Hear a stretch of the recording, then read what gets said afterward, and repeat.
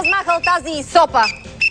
Мария, това не е софа, а е софа! Е, да, бе, какво е това сопа? Това означава за още повече адреналинки! Значи, Румене, излагаш се. Виж хората какви плакати са направили за протестите. Прибери го, излагаш се. Ще ни се смеят и на двамата. Разбираш ли? Тези протести носят силна положителна енергия и все повече в техен символ се превръщат децата. Събрахме за вас някои моменти и лозунги, които ни направиха впечатление.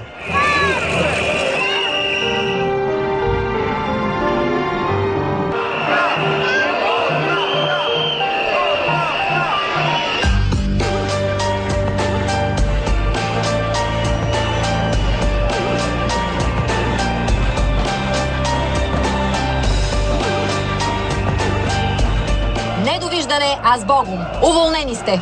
Дигайте си чуковете и сърповете! Липсата на еволюция във вас води до революция в нас. Този гражданин пък символично е затворил Волен Сидеров и Лютви Местан в кафес. Тук виждаме призив към Европа, който гласи Партия на европейските социалисти, запитайте се кой е вашият лидер. Време е да се събудите.